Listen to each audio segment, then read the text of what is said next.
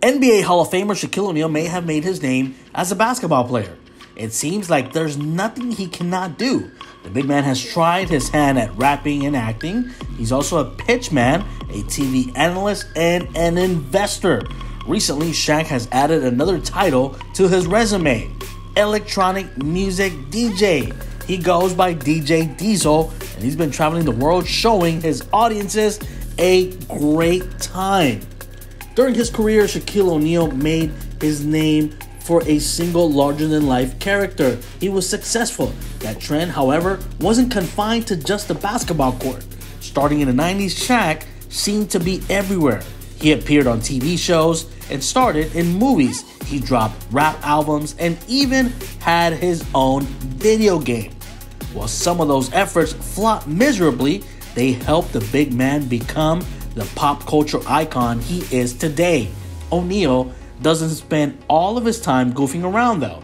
The big man was also out building up his bank account while he earned more than $286 million while playing basketball. The center only spent a quarter of that income. The rest was set aside and used for a series of smart investments, which combined with his countless endorsements have helped the big Aristotle's net worth swell over to a massive $400 million.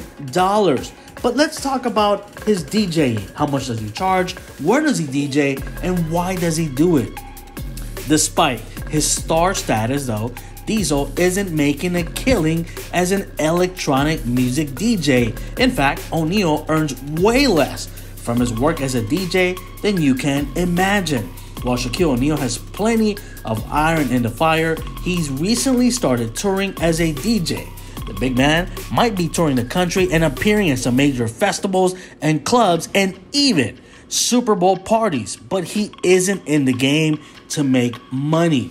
In fact, he doesn't earn a dime from his performances. After retiring, Shaq attended the Tomorrowland Music Festival and was impressed with what he saw. He decided that he needed to be part of it, independent of making a profit. He said he doesn't charge anything, and in fact, he does it for the sport of bass music.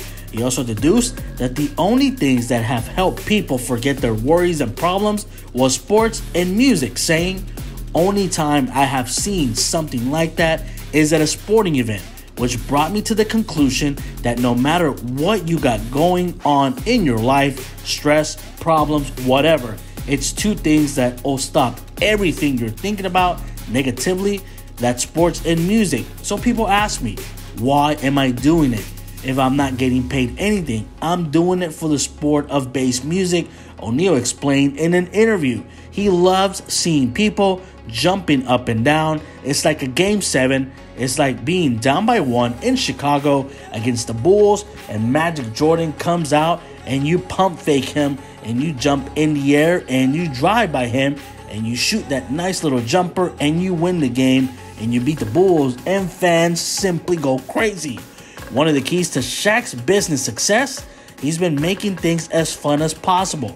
By that metric, he's making killing as a DJ even if he's not earning a dime. Shaquille O'Neal simply knows how to put on a party and keep everyone jumping and just having a good time. The best part, he does not charge to DJ and throw a great party.